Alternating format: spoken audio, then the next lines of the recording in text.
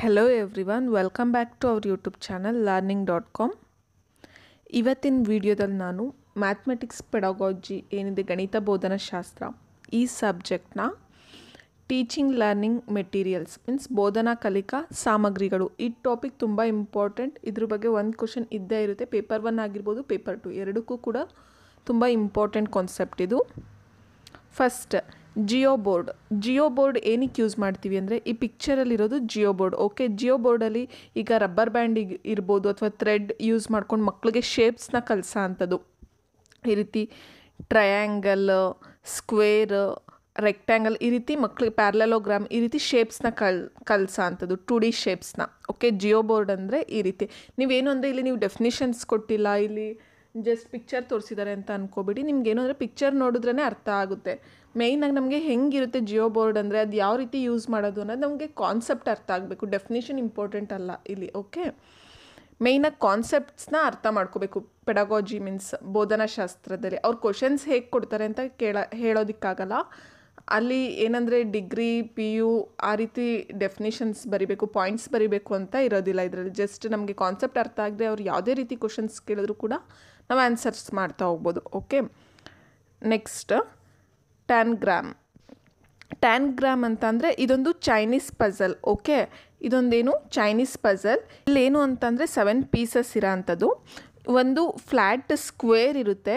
ಆ ಸ್ಕ್ವೇರಲ್ಲಿ ಯಾವ್ಯಾವ್ದು ಪಿಕ್ಚರ್ಸ್ ಇರುತ್ತೆ? ಮೀನ್ಸ್ ಯಾವ್ಯಾವ ಶೇಪ್ಸ್ ಇರುತ್ತೆ ಅಂತ ಅಂದರೆ ಫೈವ್ ಟ್ರಯಾಂಗಲ್ಸ್ ಇರುತ್ತೆ, ಒಂದು ಸ್ಕ್ವೇರ್ ಇರುತ್ತೆ, ಒಂದು ಪ್ಯಾರ್ಲಲೋಗ್ರಾಮ್ ಇರುತ್ತೆ.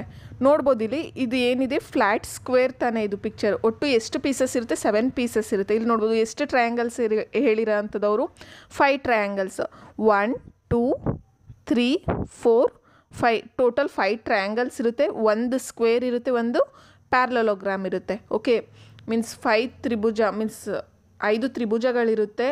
ಒಂದು ಚೌಕ ಇರುತ್ತೆ, ಇನ್ನೊಂದು ಪ್ಯಾರ್ಲಲೋಗ್ರಾಮ್ ಇರುತ್ತೆ. ಓಕೆ ಇಲ್ಲಿ ನೋಡ್ತಿರ್ಬೋದು. ಟ್ಯಾನ್ಗ್ರಾಮಿಂದ ಮಕ್ಕಳುಗಳಿಗೆ ಶೇಪ್ಸ್ನ ಕಲಿಸೋ ಅಂಥದ್ದು ಆ ಒಂದು ಸೆವೆನ್ ಪೀಸಸ್ ಏನಿರುತ್ತೆ, ಅದು ಯೂಸ್ ಮಾಡ್ಕೊಂಡು ಈ ಥರ ಪಿಕ್ಚರ್ಗಳನ್ನ ಕ್ರಿಯೇಟ್ ಮಾಡೋ ಅಂಥದ್ದು ಈ ರೀತಿ ಶೇಪ್ಸ್ಗಳನ್ನೆಲ್ಲ ಹೇಗೆ ಕ್ರಿಯೇಟ್ ಮಾಡೋದು, ಮಕ್ಳಿಗೆ ಸ್ಪೇಷಿಯಲ್ ಮೀನ್ಸ್ ನೋಡೋದ್ರಿಂದ ಮಕ್ಳಿಗೆ ಗೊತ್ತಾಗುತ್ತೆ ಯಾವ್ಯಾವ ರೀತಿ ಇರುತ್ತೆ ಶೇಪ್ಸ್ ಈ ಥರ ಡಿಫ್ರೆಂಟ್ ಡಿಫ್ರೆಂಟಾಗಿ ಕ್ರಿಯೇಟಿವ್ ಆಗಿ ಹೇಳ್ಕೊಟ್ಟಾಗ ಮಕ್ಕಳು ನೀಟಾಗಿ ಕಲ್ತ್ಕೋತಾರೆ. ಹೌದು ತಾನೆ? ಟ್ಯಾನ್ಗ್ರಾಮ್ ಅಂದ್ರೇನು ಅಂತ ಗೊತ್ತಾಯಿತು ಅಂತ ಅಂದ್ಕೊಂಡಿದ್ದೀನಿ ನಾನು.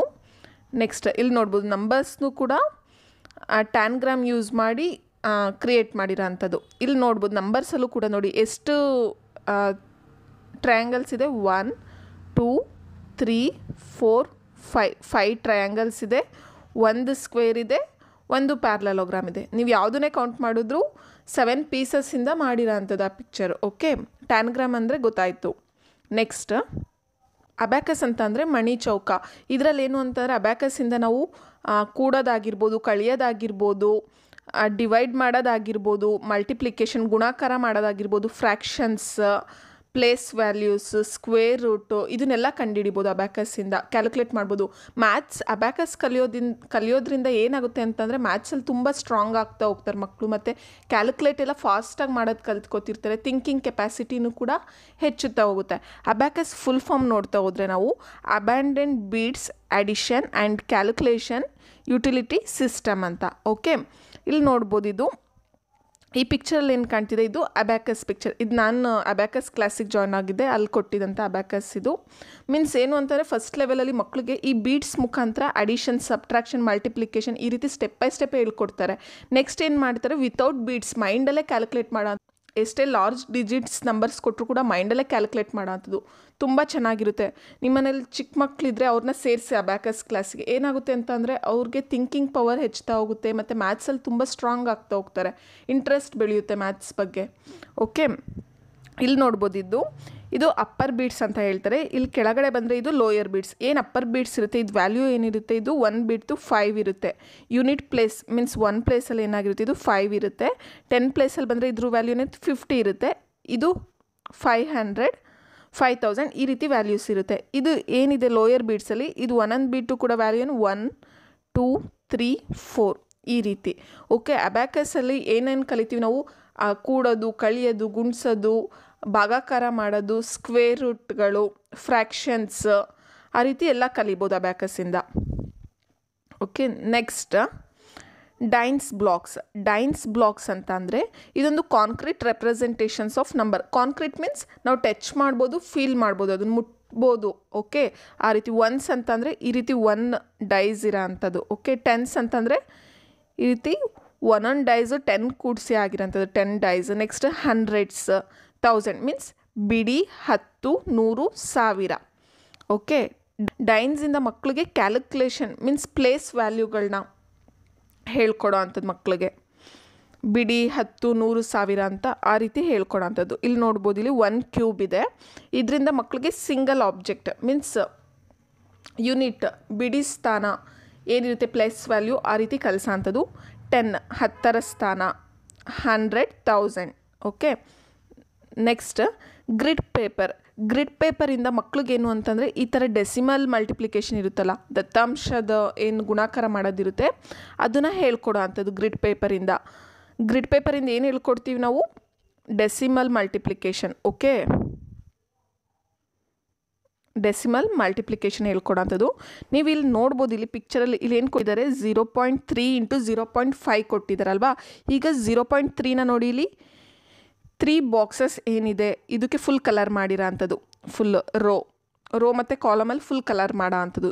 ತ್ರೀ ಬಾ zero point three next zero point ಫೈವ್ನು ಕೂಡ ಹಾಗೆಯೇ ಈ ರೀತಿ ಕಲರ್ ಮಾಡಿದಾಗ ಎರಡು ಕಲರ್ ಕಾಂಬಿನೇಷನ್ ಏನಾಗುತ್ತೆ ಮಿಕ್ಸ್ ಆಗುತ್ತಲ್ವ? ಆ ನಂಬರ್ನ ಕೌಂಟ್ ಮಾಡೋ ಅಂಥದ್ದು. ಇಲ್ಲಿ ಎಷ್ಟು ಬರ್ತೀವಿ one two three four five six seven eight nine ten ಈ ರೀತಿ ಫುಲ್ ಎಷ್ಟು ಕೌಂಟ್ ಬಂತಿಲ್ಲಿ ನಮಗೆ total fifteen zero point one five ಈ ರೀತಿ ಮಲ್ಟಿಪ್ಲಿಕೇಶನ್ ಏನು ಡೆಸಿಮಲ್ ಪಾಯಿಂಟ್ಸಲ್ಲಿರುತ್ತೆ ದತ್ತಾಂಶದಲ್ಲಿರುತ್ತೆ ಆ ರೀತಿ ಕಲ್ಸಂಥದ್ದು. ಅಡಿಷನ್ನು ಕೂಡ ಗ್ರಿಡ್ ಪೇಪರ್ ಅಂತ ಹೇಳ್ತೀವಿ ಇದಕ್ಕೆ ಓಕೆ ಅಡಿಷನ್ನು ಕೂಡ ನೋಡಿ, ಇಲ್ಲಿ ಝೀರೋ ಪಾಯಿಂಟ್ ಒನ್ ನೈನ್ ಇದೆ plus zero point three four ಇದೆ.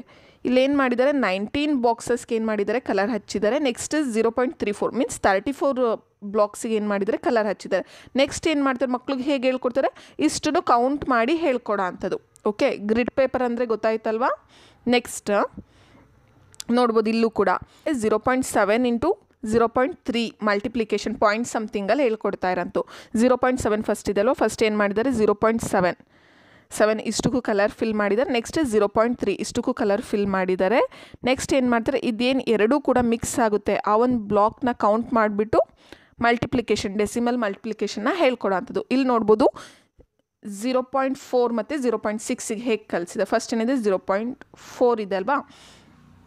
ಝೀರೋ ಪಾಯಿಂಟ್ ಫೋರ್ ಇಷ್ಟನ್ನು ಕೂಡ ಕಲರ್ ಮಾಡಿದ್ದಾರೆ ನೆಕ್ಸ್ಟ್ ಝೀರೋ ಪಾಯಿಂಟ್ ಸಿಕ್ಸ್ ಇದಿಷ್ಟು ಕೂಡ ಕಲರ್ ಮಾಡಿ ಫುಲ್ ಟೋಟಲ್ ಕೌಂಟ್ ಇದು ಏನಿದೆ? ಟೋಟಲ್ ಕೌಂಟ್ ಎಷ್ಟು ಬರುತ್ತೆ? Twenty four ಬರುತ್ತಲ್ವ box zero point two four ಈ ರೀತಿ ಗ್ರಿಡ್ ಪೇಪರಿಂದ ಮಕ್ಕಳಿಗೆ ಮಲ್ಟಿಪ್ಲಿಕೇಶನ್ನ ಹೇಳ್ಕೊಡ್ತೀರಾ ಅಂಥದ್ದು. Next graph paper graph paper ನೀವೆಲ್ಲ ನೋಡಿರ್ತೀರಾ ಹಾಗೂ ಯೂಸ್ ಕೂಡ ಮಾಡಿರ್ತೀರಾ? ಹೌದು ತಾನೆ. ಗ್ರಾಫ್ ಪೇಪರಿಂದ ಮಕ್ಳಿಗೆ ಏನಂತ ಅಂದರೆ ಈಗ ಏರಿಯಾನ ಕಂಡುಹಿಡಿಯೋಕ್ಕೆ ಪೆರಿಮೀಟರ್ನ ಕಂಡುಹಿಡಿಯೋಕ್ಕೆ ಮತ್ತು ಅಡಿಷನ್ ಆಗಿರ್ಬೋದು ಕೂಡೋದು, ಕಳಿಯೋದು, ಪಾಯಿಂಟ್ ಸಮಥಿಂಗ್ ಇದ್ದಾಗ ಆ ರೀತಿಯೂ ಕೂಡ ಹೇಳ್ಕೊಡ್ಬೋದು, ಪಾಯಿಂಟ್ ಸಮಥಿಂಗಿಂದ ಇಲ್ಲಿ ನೋಡ್ಬೋದು ಇಲ್ಲಿ ಮಕ್ಕಳನ್ನ ವಿತೌಟ್ ಫಾರ್ಮುಲಾ ಏನಂದರೆ ಫಾರ್ಮುಲಾ ಯೂಸ್ ಮಾಡ್ದೇನೆ ಈ ರೀತಿ ಏರಿಯಾ ಕಂಡುಹಿಡಿಯೋದು ಎಷ್ಟಿರುತ್ತೆ ಮತ್ತು ಅಡಿಷನ್ ಆಗಿರ್ಬೋದು ಡೆಸಿಮಲ್ ಪಾಯಿಂಟ್ಸ್ ಈ ರೀತಿ ಹೇಳ್ಕೊಡೋ ಅಂಥದ್ದು ಗ್ರಾಫ್ ಪೇಪರಿಂದ next GeoGebra GeoGebra ಅಂತಂದರೆ ಇದೊಂದು ಆ್ಯಪ್ ಮೀನ್ಸ್ ಅಪ್ಲಿಕೇಶನ್ ಇದು, ಇದೊಂದು ಸಾಫ್ಟ್ವೇರ್ ಇದು. ನೀವು ಪ್ಲೇಸ್ಟೋರ್ಗೆ ಹೋದರೆ ಈ ರೀತಿ ಆ್ಯಪ್ನ ಡೌನ್ಲೋಡ್ ಮಾಡಿಕೊಂಡು ಇದರಿಂದ ಏನಾಗುತ್ತೆ? ಮ್ಯಾಥ್ಸ್ ಆಲ್ಜಿಬ್ರಾ ಆಗಿರ್ಬೋದು ಅಥವಾ ಕ್ಯಾಲ್ಕುಲೇಷನ್ ಅರ್ಥಮೆಟಿಕ್ ಆಗಿರ್ಬೋದು, ಯಾವುದೇ ರೀತಿ ಜಿಯೋಮೆಟ್ರಿಗೆ ರಿಲೇಟ್ ಆಗಿರೋ ಜಿಯೋಮೆಟ್ರಿಗೆ ರಿಲೇಟೆಡ್ ಆಗಿರೋಂಥದ್ದು ಈ ಆ್ಯಪ್ ಮುಖಾಂತರ ಮ್ಯಾಥ್ಸ್ನ ಕಲಿಯುವಂಥದ್ದು ಕ್ವಿಕ್ಕಾಗಿ ಓಕೆ ಇದರಿಂದ ಏನಾಗುತ್ತೆ? ಥಿಂಕಿಂಗ್ ಪವರ್ ಹೆಚ್ಚುತ್ತಾ ಹೋಗುತ್ತೆ. ಜಿಯೋ ಜಿಬ್ರಾ ಮೀನ್ಸ್ ಇದೊಂದು ಆ್ಯಪ್ ಮೀನ್ಸ್ ಅಪ್ಲಿಕೇಶನ್ ಇದೊಂದು ಸಾಫ್ಟ್ವೇರ್ ಇದು. Okay next dot paper dot paper ಅಂದರೆ ಜಸ್ಟ್ ಡಾಟ್ ಡಾಟ್ ಇರುತ್ತೆ. ಇದ್ರ ಮುಖಾಂತರ ಮಕ್ಕಳಿಗೆ ಶೇಪ್ಸ್ಗಳನ್ನ ಕಲಿಸೋ ತ್ರೀ ಡಿ ಶೇಪ್ಸ್ನ ಡಯಾಗ್ರಾಮ್ ಮುಖಾಂತರ ಕಲಿಸೋ ಅಂಥದ್ದು okay next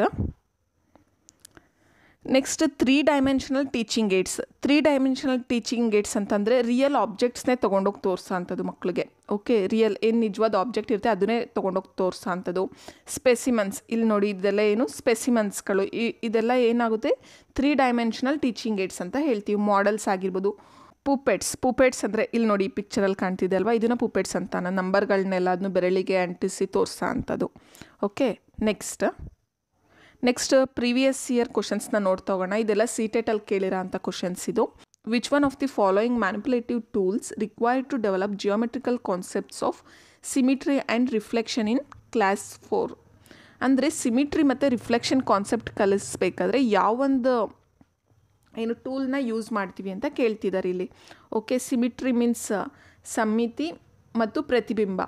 Options are dot paper abacus two sided counter beads string ಅಂತ ಕೇಳ್ತಿದ್ದಾರೆ ಇದಕ್ಕೆ right answer is option number one dot paper means dot paper ಅಂದರೆ ಇಲ್ಲಿ ನೋಡಿ, ಈ ಸಿಮಿಟ್ರಿ ಅಂದರೆ ನಿಮಗೆ ಗೊತ್ತಿರಬೇಕು. ಫಾರ್ ಎಕ್ಸಾಂಪಲ್ ಇಲ್ಲೊಂದು ಸರ್ಕಲ್ ಬರೆದಿದ್ದೀನಿ ಅಂದರೆ, ಇದು ಭಾಗ ಮಾಡ್ತೀನಿ ಅಂದರೆ, ಇದು ಎರಡೂ ಬೈಂಡ್ ಮಾಡಿದ್ರೆ ಕ್ಲೋಸ್ ಮಾಡಿ ಏನಾಗಿರುತ್ತೆ ಇದು? ಸೇಮ್ ಆಗುತ್ತೆ ತಾನೇ.